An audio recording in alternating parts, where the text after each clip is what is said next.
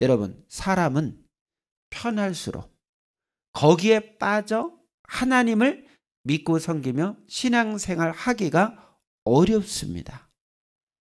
편할수록 아무 문제가 없으면 기도하는 것도 어렵습니다. 사람이 편할수록 아무리 메시아 예수님이라도 섬기고 사랑하기 어려운 것입니다. 편한데 뭘 더 원하겠습니까? 편하면 이미 천국이 천국이기 때문에 그러합니다. 예수님은 한 부자 한 부자 청년의 행실을 겪으시고 부자는 천국에 가기 어렵다라고 말씀하셨습니다. 왜? 아쉬운 것이 없기 때문에 그러합니다. 이 마태복음 19장 23절에 나와 있죠. 예수께서 제자들에게 이르시되 내가 진실로 너희에게 이르노니 부자는 천국에 들어가기가 어려우니라. 사람이 편하면 이 편한 환경 가운데 이렇게 묶여서 환각 상태에서 살게 됩니다. 이미 편하게 있는 사람에게는 좋은 곳이 있다고 같이 가자고 해도 그 사람은 가지를 않습니다. 편하게 사는 자는 편함의 목적을 이미 이뤘기에 그것을 사랑하며 일체되어 살아갑니다. 사람이 편하면 그것을 자기의 영광, 그 기쁨, 천국, 사랑으로 생각하고 낙으로 삼고 살아갑니다. 그러므로 고생되고 기초하는 것은 그 어떠한 것도 싫어합니다. 여러분, 배부르면 식당 갑니까? 안 갑니까?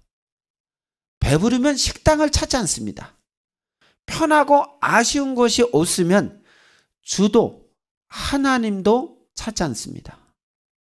저마다 자기 자신도 그러한지를 한번 생각해 보고 확인해 봐야 합니다.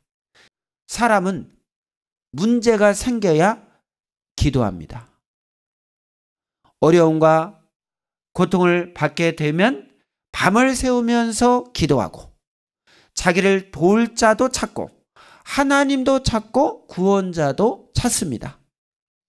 하나님은 사람들의 삶을 괴롭게 해서라도 깨닫게 하고 하나님과 주를 믿게 하여 영원히 구원시키십니다.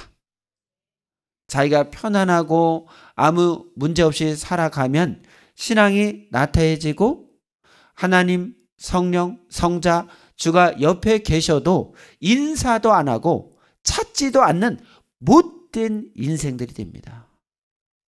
사람은 어렵고 힘들고 고통을 받아야 주를 찾고 의지할 자를 찾습니다. 저마다 자기가 좋아하는 것에 빠져 사는 것이 바로 편한 삶입니다. 이런 자들은 하나님과 주를 믿어도 간절하게 믿고 사랑하면서 살지 않습니다. 지난날 하나님 성령 성자 예수님이 자기를 위해 주어서 은혜를 받고 산 것을 우리 모두는 깨달아야 되겠습니다.